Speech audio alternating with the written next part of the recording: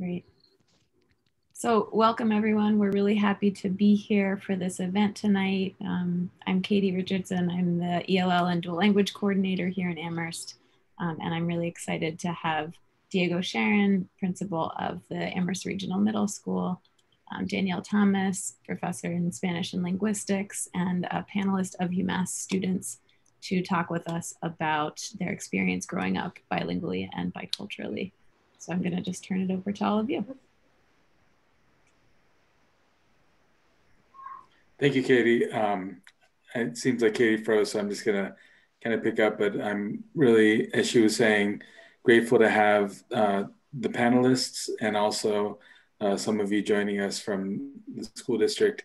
Um, more or less, this is just an opportunity for us to try and reach out to and include more uh, of our community and begin to see one another in this setting and to have the opportunity to uh, talk about and discuss some issues that are really relevant to the young people that we're supporting in our schools. Um, you know, as a principal of the middle school, um, I have uh, the opportunity to see a lot of students all the time who are, uh, of course, bilingual and bicultural. And it's something that I find to be really valuable, uh, a really valuable asset. And it's very difficult uh, sometimes to communicate that to them in a way that allows them to to really see it and understand it.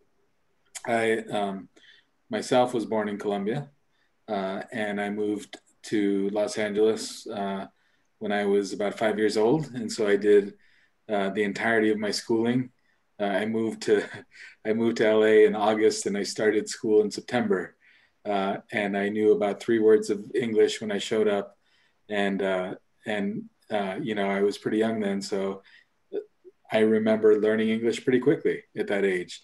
Uh, and and you know, it's it's uh, it was a blessing that I was able to do that in that in that way, and and uh, uh but it wasn't easy. And and I remember, uh, you know, my mom was still a Spanish speaker, and she and I lived together, uh, and so there was a lot of challenges with that. But I really look back fondly on the memories of being having my home culture in my home and learning about this new culture uh, that I was being acculturated into. Um, not so smoothly sometimes, other times more smoothly. Uh, and, and so those are experiences that have really inspired and continue to inspire me uh, throughout my career as an educator uh, and certainly now working in Amherst as a principal. And, and uh, the thought of having this meeting is in part to give students um, who are bicultural and bilingual and their parents uh, an opportunity to see other young people who have uh, have have uh, been able to have experiences of their biculturalism and bilingualism and carry those as part of their envisioning for themselves uh, in many diverse ways into their uh, development as adults and in, into their career path and even as to in their aspirations as as uh, as you know, as adults. And, uh, and so, uh, so I'm really proud uh, that we're able to have this meeting and I'm excited for the other individuals on this panel to begin to share a little bit about their story. Um, so maybe Danielle, if you want to uh, share a little bit about yourself and then we can move on to the, the, the students. Sure, thanks. Thanks, Diego. So my name is Danielle Thomas. I am a faculty in the uh, unit of Spanish and Portuguese at UMass, and my research is in all areas of bilingualism, first starting with language development of children and adults in learning multiple languages at the same time or an additional language later in life. And now, um, as I have come to the US, I'm originally Canadian and have lived kind of in different places, looking at different types of issues, both in academics and in the private sector um, I've had a really great opportunity to see some of the realities in the local context in terms of what people have to be confronted with when they are bilingual or when they are um, living biculturally. My background is that I'm a daughter of immigrants. Uh, my parents came to Canada in the wave of immigration after the First World War when the boats were all leaving Europe and they got on a boat to Canada. And some of my relatives are in the States, some are in Australia. So the boats just went all different directions. And so at that time, it was anglicization of everything. Uh, my name Thomas is Thomas, but it's not really Thomas. It's another name, which is Greek. Um, but also my sister and I arrived to adulthood not speaking Greek, even though my parents, that's their first language and they spoke it Macedonian actually to each other at home. Um, but they made a concerted effort for us to learn French and English and give up the um, lang family language because it wasn't of any economic importance. Um, and so, of course, we arrive to adulthood blaming them for our inability to connect with family. So, this, I think, it repeats itself over generations. And uh, me arriving in the States, um, I see a lot of issues that um, for Canadians, we obviously deal with, but in a very different way. And I've become really interested and kind of dedicated to this idea of Span- uh, US as a Spanish speaking country, and this idea that bilingualism and multilingualism is the foundation um, for most of the world, and it should be for us too. So I'm really happy to be here and be working with the education um, in the education field more than I have before. And I'm happy to be able to learn from everybody in this environment more about uh, the applied side and the educational side that impact the families and students. So thanks for having me. And I'm really excited to hear what all the um, of our panel have to say today. Um, it's always uh, enriching for me to hear the stories.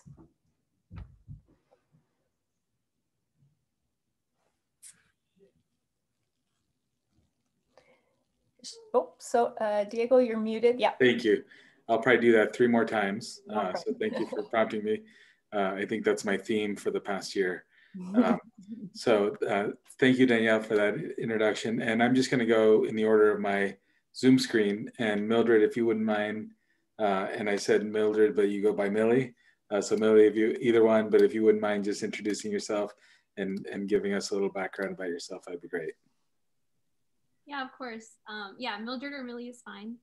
So, hello everyone. Um, I'm a junior at UMass. I'm a biochem major um, and also pursuing a dual degree with Spanish major. Um, I say I say this first because I think um, I came into college thinking like, oh, I'm just gonna get a minor in Spanish. Um, you know, to show that I have some ability in Spanish. Like that was my first language. My I would only I only talk Spanish at home, and so then I was confronted with some ideas that advisors gave me. Like, well, actually, it might be more beneficial for you to get a bigger degree just because it proves to the academic world, um, especially here in America, that you can actually you have a paper that says you are fluent, even even if you don't think you're fluent. Um, so it made me think a lot about um, just the dynamic of like having to prove ourselves, even if we are bilingual. Um, I grew up having to prove that I could speak English. I learned to speak English at school, both my parents are immigrants from Guatemala, and I would only speak Spanish with them. Um, and yeah, it wasn't until seven years later that my brother was born that I was able to have someone at home to also practice English with. Um, but I, my, both my language and culture have influenced how um, I've been brought up, both in values and then also just how I perceive the world. Um, and have been exposed to different things. Like I said, being a daughter of immigrant parents definitely pushes you um, and encourages you in a different way um, to view just like the opportunities that you're given. Um, so yeah, I'm excited to be here and like help answer some of the questions. Um, but yeah, I like I said, so I was born here and I grew up in Lawrence.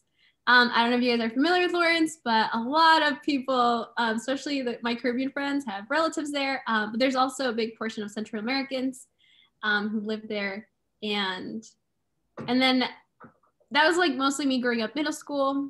Um, when I went to high school, it was, I moved the town over, um, predominantly white. So definitely a change.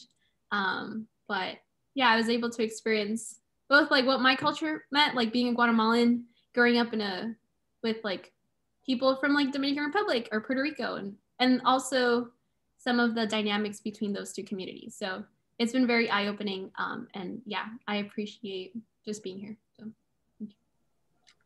Fantastic. Thank you for sharing that. And uh, you piqued my curiosity when you mentioned the dynamics between those two communities.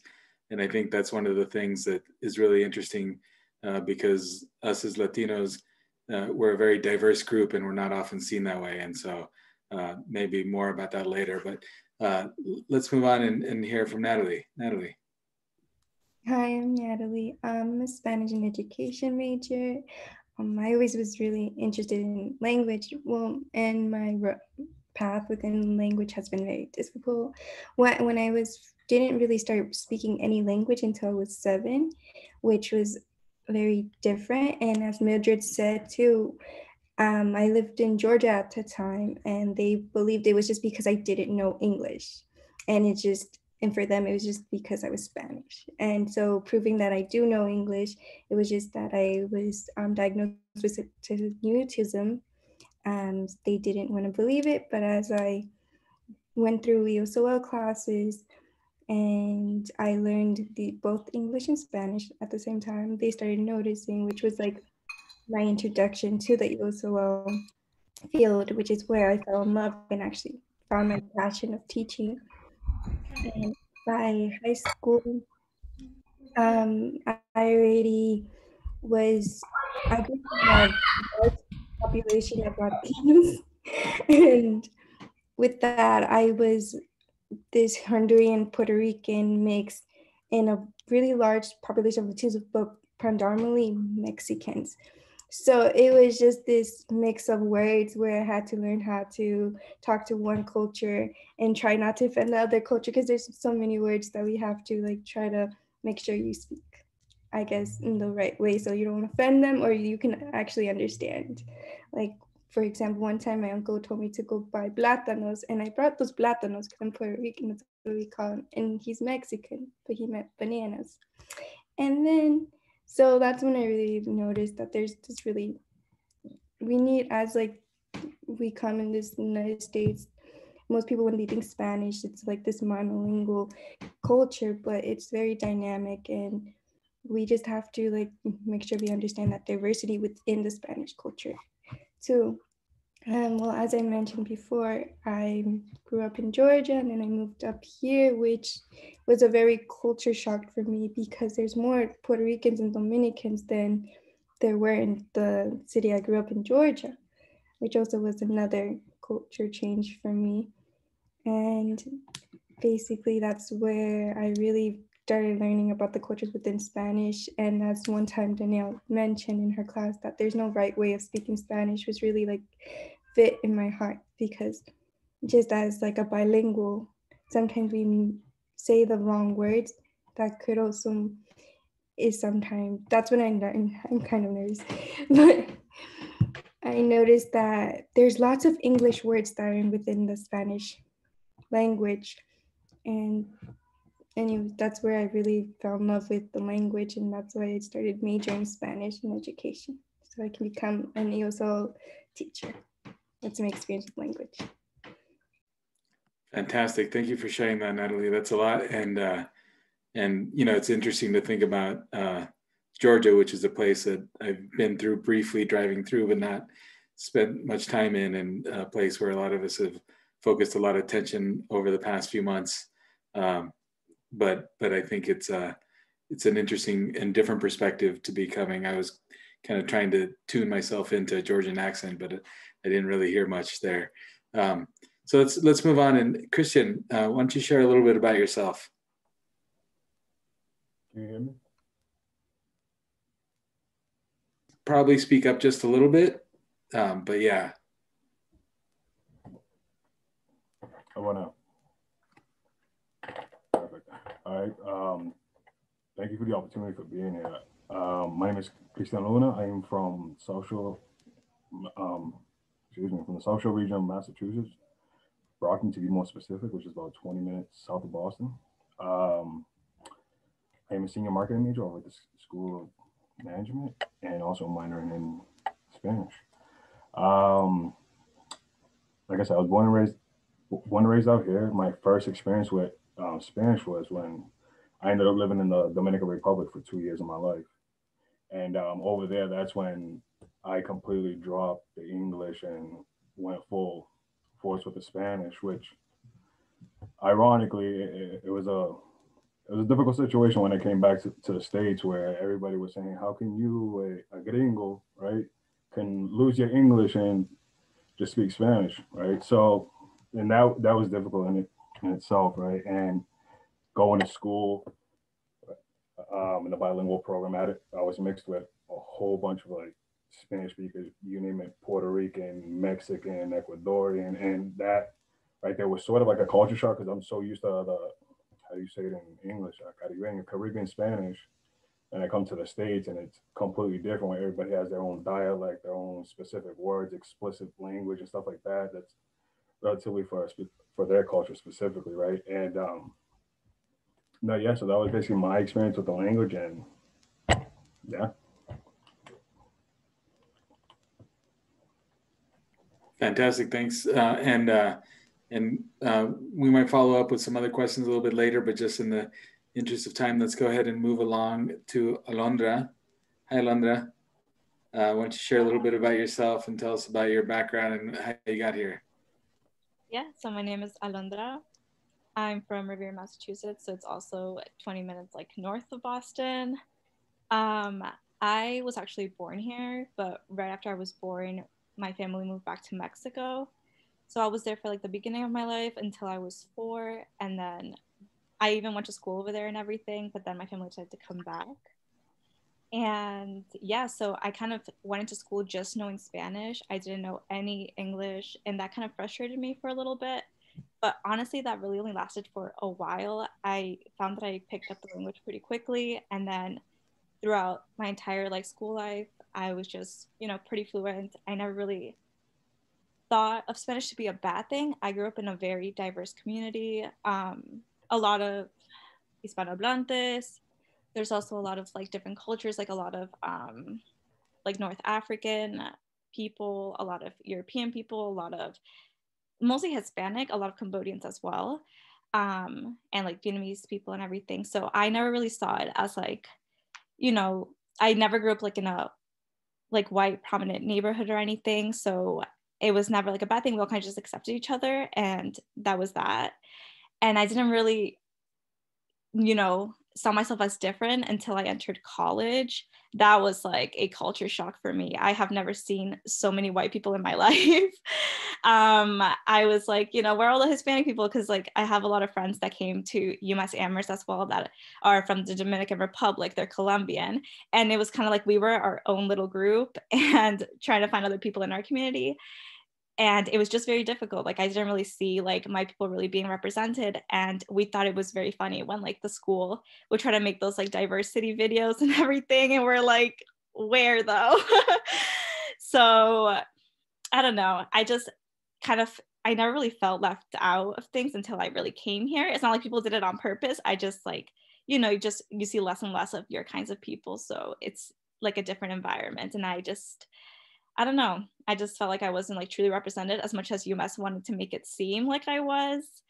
Um, so yeah, that's definitely where I got it. And then here's kind of where I learned more the importance of Spanish. I didn't go in. Oh, and I forgot to mention, I'm a double major in managerial economics and Spanish. I didn't start off with that double major in Spanish, but then just kind of being in college, like I said, being surrounded by more people, more white people and less people of color, I kind of like realized more the importance of just being Mexican and really having just Spanish be there um, and just being fluent in it. And that was like my goal throughout like the entire time, just because also being in that setting and not being like with my family anymore, which is we only speak Spanish here in my household. I it's not like I started to lose Spanish, but I just didn't want to risk it at all. So I was like, I really want to make sure it's solid. I have it. And I just, you know, in college, I just learned the importance of having that second language and just being really solid with it. So yeah.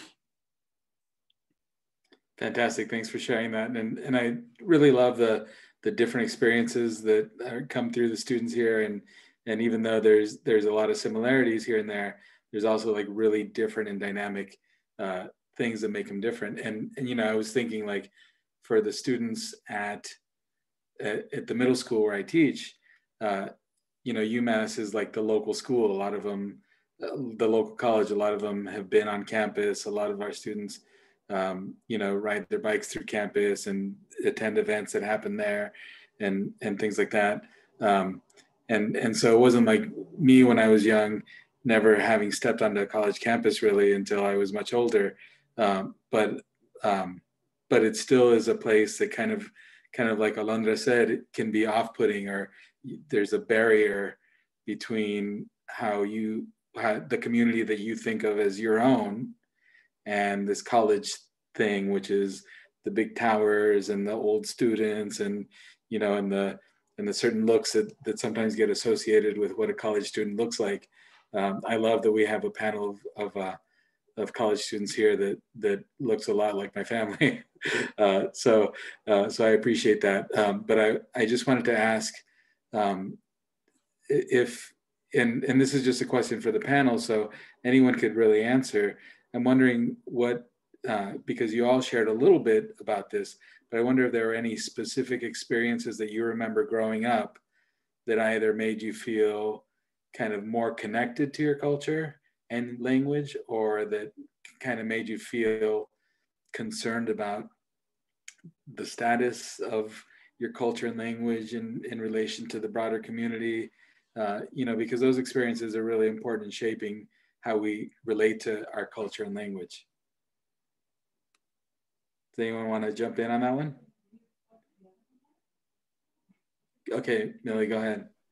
Yeah, I can start us off. Um, yeah, I think something that's so beautiful that has already been mentioned is like the Latin experience is so diverse that we can't just like categorize it into one box. Um, and it's very easy to do, especially in a world where like, or in a society where there's like categories for everything. Like you're gonna fit in one list or the other. There's no in between. Um, and I think something that makes us so like, or something beautiful within the Latin community is our complexity, even if we just come from one background, because we are now mixing within another background. And our culture is being influenced not just by like who we grew up with um, or the values we grew up in, but also now where do we live? Um, and this changes like from town to town and state by state. So um, I think personally, rejection came before I was able to embrace. Um, and part of it was because being daughter of immigrant parents, I I grew up with some fears of like not knowing if like my parents would be back home, like or like when there was a lot of talk of like government policies changing. Um, and I think it really uh, pushed me to mature um, in a way that some kids aren't. Um, and it was really interesting because I was able to share these experiences with the students who like also spoke Spanish and came from um, parents who were immigrant, but then also learning how other um, communities within the Latin culture perceive immigrants. Um, because we can also say like, not all Hispanics or Latinos are immigrants. Um, and some people actually be, feel offended for being called either immigrant or we also know like the word Mexican has like a can have a bad connotation. Um, but just like hearing how Alondra also appreciates like her Mexican ethnicity is beautiful because like it should be appreciated. And even within our own Latin community, we can sometimes like try to degrade someone um, for their own community or where they come. Um, so yeah, it was really eye opening with, with I think like I don't know, it just makes me think like unity within the Latin community needs to like really be pushed and embraced so that we can as a whole like lift each other up in in a community where predominantly it's white and they categorize us but they don't know all the differences and experiences that we have and as much as my experience is different like i also have a lot to learn from some other experiences of other students so um yeah i really but yeah i guess focusing on the question sorry um yeah i as a daughter of immigrant parents i think i rejected the idea of like I was like, oh yeah, I'm a US citizen. Like there's nothing I have to fear. But no, there are things that come with it. And um, learning to embrace that when like comments were said from even friends who like didn't mean to do it intentionally to hurt me. Um, but their perspective was just different on the topic. So definitely. And like it's not something that's talked about in school. Um, so I think once I came to college and was able to acknowledge and like have words to express like what I'm feeling and knowing other students have gone through this. It's like, okay, I'm not alone. Like this is a thing. I'm not making this up in my head. So I think acknowledgement um, is very important. And like, because we are focusing with like middle school uh, students, um, it's very empowering to give students like words to use and to like be able to express themselves because um, it's really hard to sometimes share like what you're feeling like there's so many words but you don't know how exactly to incorporate all your experiences in words so or for me that's that was my experience. Fantastic thanks that was a lot to share and i appreciate you doing that. I uh you know i was i was just thinking that uh when so quick little story today i just happened to bump into someone in a remote setting, so it was safe. We didn't have masks on, but uh, I was in this discussion group, and and he was a he was um, he was from Gambia, which is in Africa, and uh, and it turns out that he I went to I did my undergraduate degree at UC Irvine in California, and he did his undergraduate degree at UC Davis, but it was like 14 years apart when we graduated. He was a little older than I am, but it turns out that when we did our when we both were naturalized and sworn sworn in as U.S. citizens, we were both sworn in by the same person. And so, you know, so here we have these really different experiences, but there's commonalities even between that. But I also want to point out that on this panel, I've heard people talk or refer to themselves in their community as Lat- Latino, Latina, as Hispanic, uh, someone even said Spanish, even though they're not from Spain, and uh, and and so there's a lot of diversity. Even and what the term that I haven't heard at all is Latinx, right? And and and that's like the that's like the the biggest term in the media right now uh, that's being used. And so I just want to point that out because it's interesting uh, that to talk about like the perception of Latinos versus the lived experience of it and and one of the things that I think is really interesting is how the perception which is in the media and and and in the culture is is really informed not always by Latinos.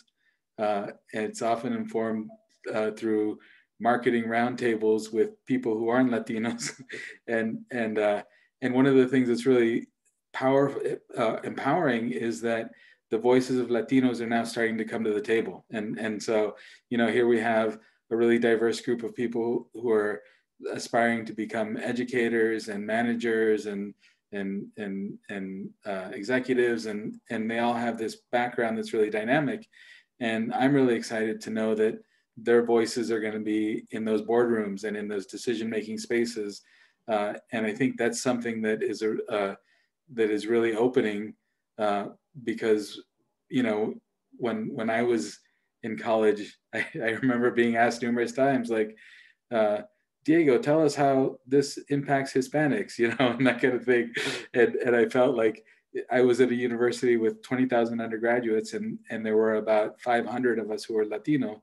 And so it really did feel like I was isolated a lot of times.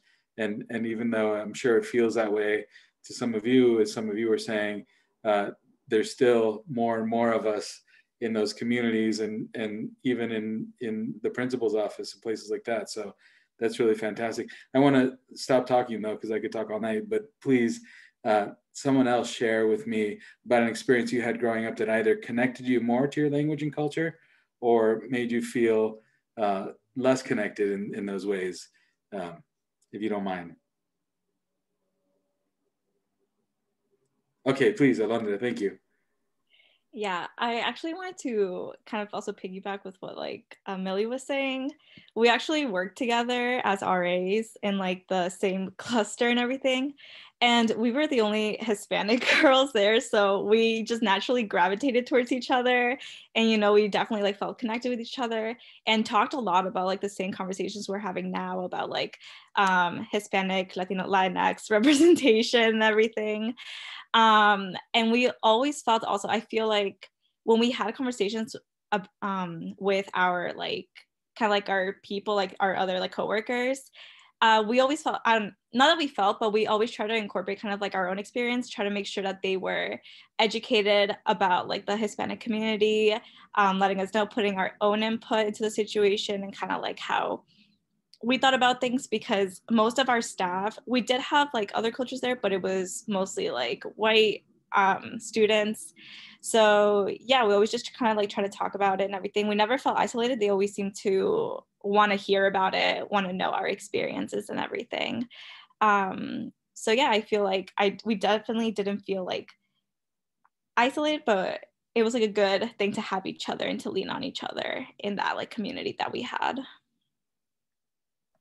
yeah i mean it's it's uh, it can be difficult to feel isolation in an academic community right uh, uh, one of the things that i that i feel really strongly about is trying to have more adults in the building at the middle school who um, who are latino who are african american who are immigrants who have these different intersectional experiences because we have so many students who are looking for uh, adults who they can look up to, who have those kinds of, who can, who they can empathize with and who can empathize with them. So, so that's, that's really uh, wonderful too. I'm going to ask another question and it doesn't mean that you have to not answer the previous question, but I just want to throw this question out too, because keeping in mind that we're talking to middle school students and their families, I wonder, uh, you know, uh, because you have a lot of lived experience and and I'd love to hear from those of you who haven't shared as much but but what advice would you have for the parents of our students who are trying to encourage them to love their culture to connect to their culture and to feel secure in who they are and their identity uh, even though it might be difficult for you know, there's there's always a generation gap, of course, right? Uh, um, I think those of us who are the the children of immigrants particularly feel that in a in a in a more dramatic way. Uh, but but I'm wondering about um, you know what advice you would have for for young for young people, but also for their parents in terms of supporting them through this through these challenging times.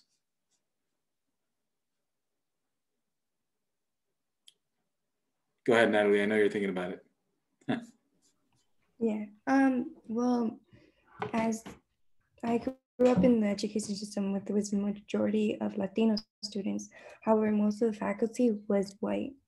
And we weren't really allowed to speak Spanish, which really allowed this confusion and this just like self I don't even know how to explain it. It was just like we felt so guilty speaking Spanish that we just didn't want to. And every time we saw someone else speaking Spanish, we just looked down upon them, even though we were Latinos ourselves.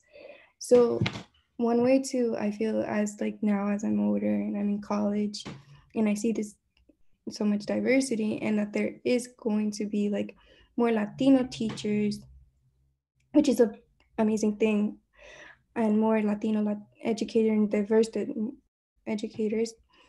I feel like if more parents also contribute to their talk to their teachers and also get involved in schools and have the schools become more diverse too in a way because as i was teaching um, in mexico i noticed lots of parents were also very nervous in getting involved with teachers as like our gener as the later generation it's more as if like the teachers are in the higher ground which I was um, speaking with many teachers in Mexico and, and other teachers in California. It's just this different culture. And if we just, if parents also feel more comfortable, so like get involved in the homework, also trying to bring more diversity events and to just become more inclusive overall, we can just bring this pride that many students, unfortunately, and especially in certain states, that try to down low down make this well, I wouldn't say like down dying down, but more try to make it more of my uh, culture that's less diverse. And if we can just bring more events to make these different students feel included, it would just allow this sense of being able to feel pride in who they are. Awesome. Thanks for sharing that, Natalee. Um, hey, Cristian, we haven't heard from you in a little while. Uh, why don't you uh, take any of those questions that I've that I've put out there and and uh, share some of your experience or wisdom with us.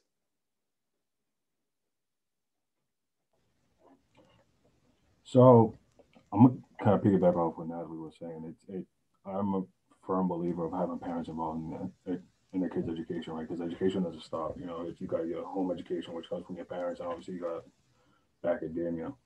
Um, that being said, I mean, it's just like if you don't have that education at home, unfortunately, that's what happened to me. My parents weren't involved with my school, and so therefore I was just basically getting a pure education of what I was getting at school, which kind of caused me to re- reject my culture a little bit because over here where I'm from, right, it was um, I want to say it's from first all the way up to middle school, where anybody who was a bilingual, they would basically, how can I say, take the the bilingual bilinguality. Like you wasn't allowed to speak Spanish.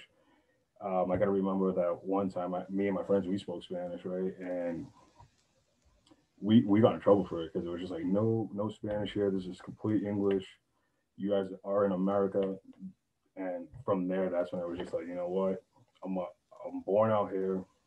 I'm gonna do everything out here, so I might as well just like, yeah, I'm, I'm a Dominican, but what is the point of keeping up with the Spanish if I'm gonna live out here, work out here, and spend my life out here? So, um, so yeah, it's basically like what I said earlier. It was just like having the parents bringing the education of when I say education, teaching the rituals, uh, uh, morals, and stuff like that of the culture. Because I mean, you're always gonna have the American culture when you're outside of your house, but when you have your your your actual culture, whether you're Puerto Rican, uh, Mexican, Dominican, that's what's gonna keep your, your identity alive. Having the education at home from your parents. Beautiful. Thanks for sharing that. That's that's well put. You know, I'm I'm wondering. Uh, um, you you were talking about Cristian about how you had your your language and culture kind of devalued at school as a young person. Now that you're a little older uh, and have have lived a little bit longer, do you feel like there is value in your language and culture that you're seeing in society, in the marketplace, and in the community that's that you weren't aware of when you were younger? Absolutely. Um, I'll give you a good example right now. Over the years, we're starting to see more of an increase of uh, a minority population. So we're seeing a lot of Ecuadorians, Puerto Ricans, uh, more Dominicans. The Dominicans are coming back, surprisingly, right? And a lot of them do not speak English. So me being a marketing major, obviously that's one skill that we need is be, being able to connect with our market, right? Which, for example, broadcasting is being able to, to speak with others. Because if you can speak their language, and this is like a business mindset, if you can connect with your customers, they're more likely to connect with you and trust you more, right? So, with that being said, that's one aspect of it, and and just the community building piece, right? You you can build a, a greater, almost se dice? Um, excuse me, it's just like the English and the Spanish. All right. Um, you can mix them up. That's fine. Yeah, we can do this. We can do. We can do the Spanish. Yeah. Ah, perfect. Um, I said, como una gran comunidad, ¿me entiendes? Que tú tienes, puedes tener una variedad de gente que habla español y es un beneficio, ¿verdad? Porque tú puedes conocer the, the backgrounds of everybody that you come into contact with. So that, that's one benefit with that, the community building and obviously that trust aspect that comes with it. Yeah, absolutely. Uh, thank you for sharing that. Uh, for those of you uh, who didn't understand that, I think there may be a few. Uh, so what he was saying is just that speaking, being able to speak to someone in their home language creates a different connection, and it, and it, and particularly uh, as in a, he was talking about in a business sense, but I would just extend that uh, to a broader sense. Certainly, as an educator, being able to speak to someone in Spanish uh, and speak about things that feel true and real to them is often something really powerful in terms of breaking down some of those barriers that we build up. You know, and and we've been we spent a year building all kinds of barriers. We even have masks. Uh, you know, that are physical barriers that we wear in public all the time now. And so I think it's really, really powerful whenever you can uh, break some of those barriers down. So thanks for sharing that, Cristian. Um, you know, I, I, I wonder if anyone else has, you know, either advice for the parents of young people uh, today, or or if you if you can think back, if there's advice that you would give yourself at, when you were kind of like if you could go back in time and kind of whisper in your middle school self's ear, like what would you tell yourself?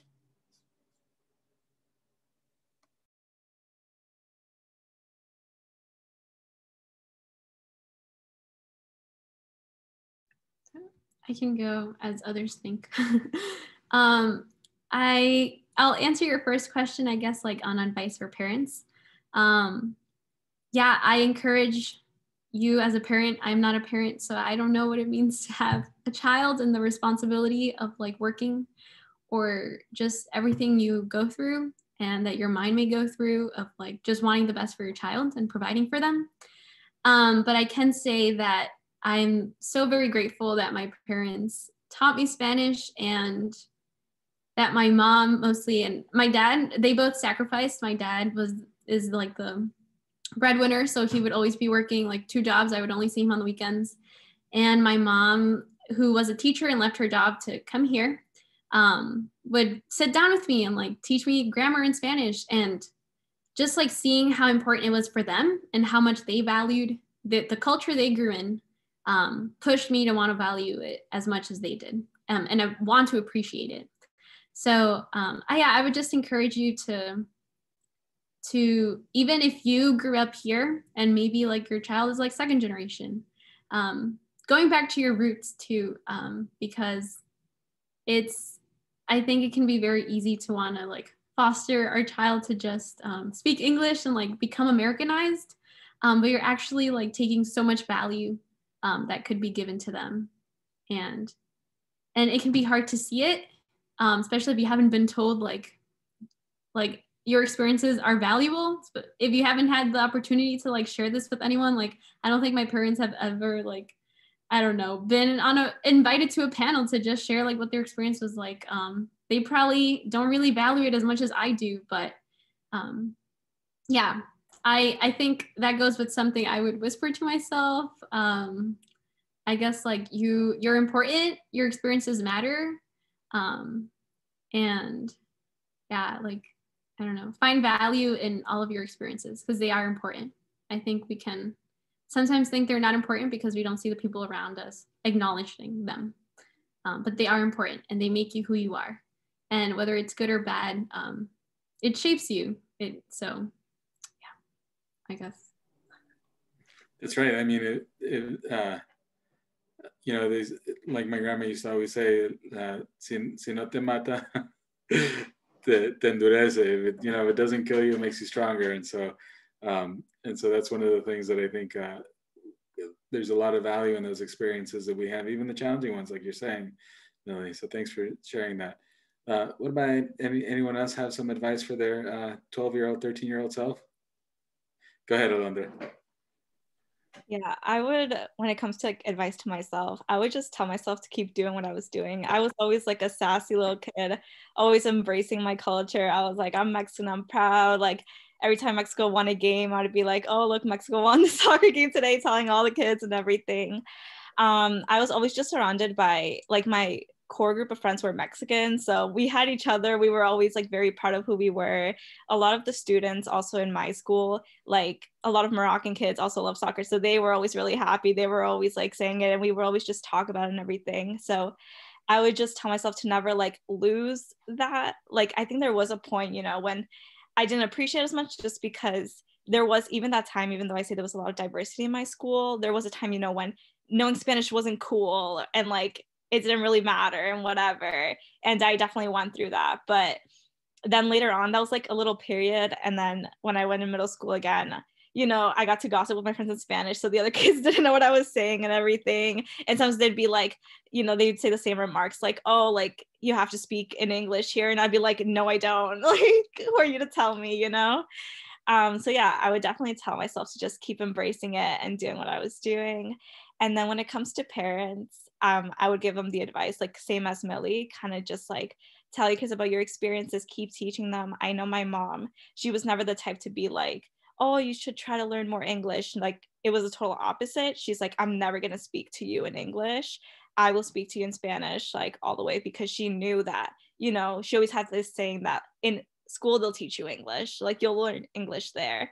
And she was right because I say that I'm definitely more fluent in English than I am in Spanish. And if she, for some reason, try to change it up or try to talk to me in English, I feel like I would have less of that and then just seeing this with my own sister my sister's 12 years old she her Spanish isn't the best. And you know, you kind of just see it as you go by. And I feel like also how many said with like if you're like second gen, everything like that, you know, you start to lose those roots and you start to kind of lose that like love for your culture. So I say just embrace it as much as you can and definitely give those like members that you have the language to your kids. And I know that I am extremely grateful for all of that that I have. Like and I will always be embracing my Mexican heritage. So, you know, your kids will definitely be proud of it. Even if they aren't now as kids, they will thank you later.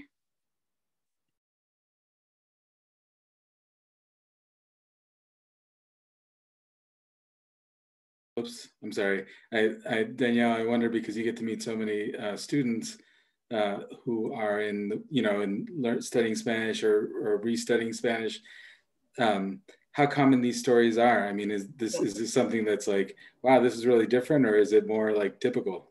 Yeah, I would say um, we do have some questions from the on the chat, but I would say, you know, this is the old story from my generation back and then up to this generation.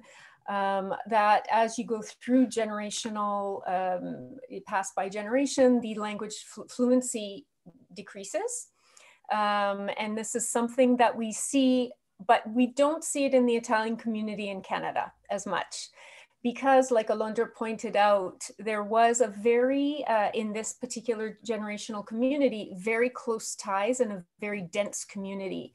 And so you do see some communities in some parts of the world resisting that because of generational connections, connections with abuela and uh, bisabuelo, or connections among family members that are also diversely distributed across the world and that they make very specific choices to uh, ensure that the, the consistency of the representation is there. So I, my research was, my original research was in this age group, 20 to 25 year olds, testing their language abilities and then asking, why do you think you speak Spanish at this high level after having been born in Canada and been in this community? And it was pretty, pretty consistent that my parents forced me to.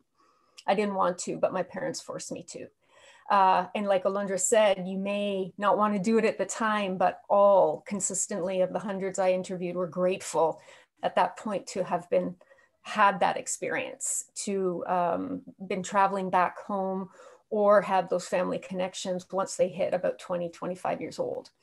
Um, so yeah, it's it's super common, not only in the Spanish speaking community, but across language and heritage and, and, and, and uh, language communities all over. And it really takes a, an intentional effort, I think, on the part of families and the community, not just families. I think the community has a very large responsibility here, especially if we're going to, you know, we have 15% Spanish speakers in the United States and 20% that identify as, as uh, Latino or Hispanic it's a major responsibility socially um, to to maintain that right? And to and to help celebrate it.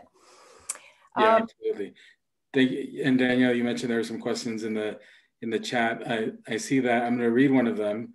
One of the questions from Tal was uh, how would you uh, like or plan to develop your bilingual or multilingual skills in the future? This is obviously for the panel.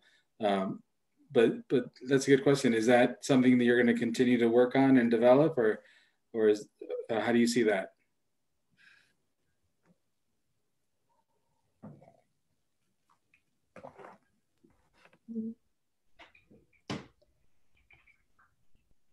Anyone? I think um, the, the way that I'm gonna improve, or obviously like any other language, is practice.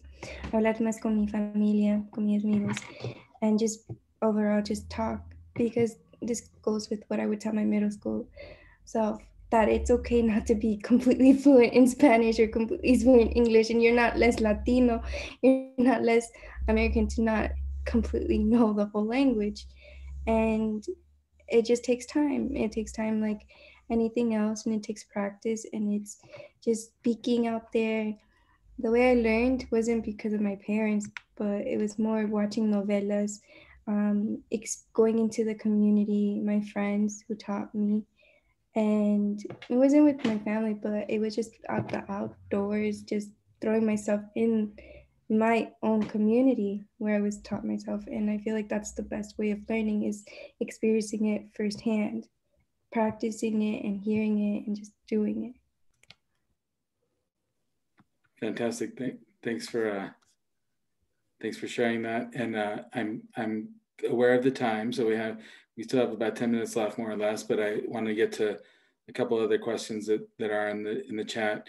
Uh, one of the questions is, um, how do you think your perspective on life has been shaped by your bilingualism? And I would just extend that to not only your bilingualism but also being bicultural.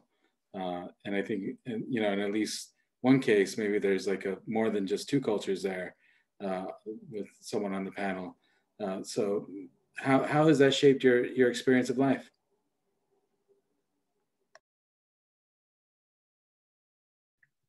I can go. Um, I think as much as culture has impacted, um, that includes your language and your experiences. And with language, you can communicate as like uh, Cristian was saying, like as a business major, like he has to learn how to communicate, right, and speak with other people to understand their experiences and where they're coming from. So definitely, when you learn a new language, you are learning to communicate in a new way, and then also just being able to communicate with people whose experiences are by nature differently because of their language, and they, probably had to grow up speaking that language too and learning. So, in that matter, um, yeah, just learning a new language and developing it is what helps you um, kind of develop that like bicultural identity or multicultural. Um, so yeah, I, I think someone else had also asked just to like add on, because I know we're running out of time, like the, um, or I think that's the one you asked right now, but how do you think your perspective on life has been shaped by it? And yeah, I think it's like, it has influenced who you've communicated, who you have communicated with.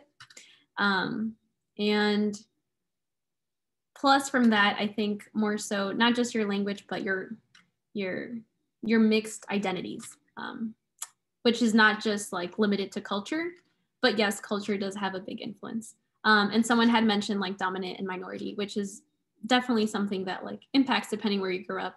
You're, either, you're either more aware or less aware um, of certain identities.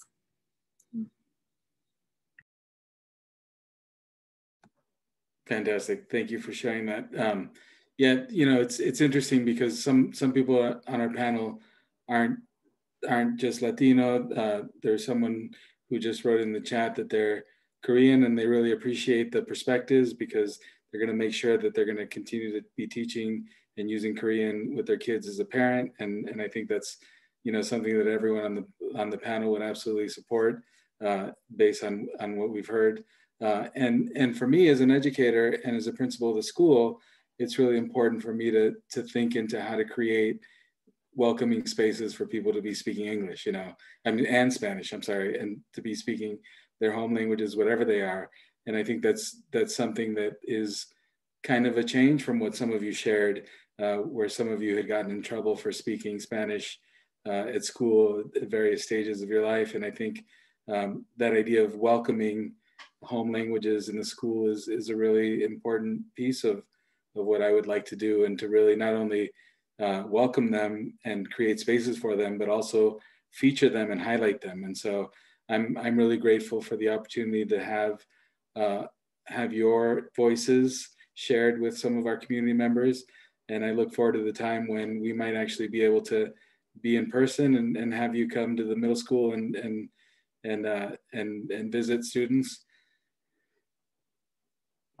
Excuse me. Um, uh, but I um, really appreciate the panel discussion. I appreciate all of you joining us uh, from the school, and um, I'm really grateful uh, for the um, uh, for the opinions and perspectives, and and just all the passion that I heard. And I just want to ask if there's anyone who has. I haven't been able to read Danielle all the all the comments that are coming in, um, and so if there's anything that you feel like you'd like to share, uh, Jenny, do you want to share something? I'd like, oh, I'm sorry. I didn't react because this is not actually my name. I'm using someone else's account. I'm sorry. I see, that's okay. my name is Elisa Clements, and I'm the oh. facilitator of the Bilingual Parents Advisory Council. And I just wanted to, I could say a lot of, about that, organization, you know, why it was created, but one crucial part of its mission is to reinforce the value of the home language. And um, the group is really just getting, becoming cohesive, but I really appreciate all your, uh, specifically the advice for parents. Um, and I will, at our next meeting, I will report the highlights to the group of parents. And I think it will be super valuable coming, specifically coming from your perspective. And this is parents at all levels, elementary, um, middle and high school. And I think the message is valid for all of them. So we're trying to put parent volunteers together with students um, uh, who, who want or need reinforcement of their home language, uh, whether they're working in bilingual clubs or not. So we're really making an effort to get this to happen. Um, but we need to, it's, it's not easy somehow for many parents. And I did have one thought, which is that maybe our name is wrong. We're called bilingual parents, but not all the parents are bilingual. And so maybe some of them are like, well, I'm not a bilingual parent, even though we send the, the invitations out in different languages, even though we say we'll have interpreters. So my guess is we should probably change it to multilingual because then it allows for both speaking several languages and one at a time. But there were a bunch of really interesting points you brought up. One was the fact, which I knew of, but that Spanish isn't monolithic. And that guides me in terms of, you know, when we're trying to match um, tutors with, uh, with students who need Spanish reinforcement, hey, maybe we should pay attention to this. You know, it isn't, no, Spanish isn't a monolith, but that hadn't occurred to me because I'm a little bit I'm outside of that until this moment. So that and other things, um, I, I'm just really grateful and hope that maybe we can organize a similar event, um, as Diego said, in person and for other groups because it's it's so important. So thank you, thank you all for doing this. Thank you for sharing that perspective, Alyssa. And sorry, um, I didn't recognize you, but but now I do, and I'm and I'm I look forward to being able to collaborate in the future. Uh, and please reach out, and we can think into not only the name but also future uh, opportunities to engage with one another. I want to really share my heartfelt gratitude for all the panelists who took gave of their time, uh, and and I I don't think you really realize the gift you've offered us. Um, so thank you for that, and thank you Danielle for working with us on creating this event.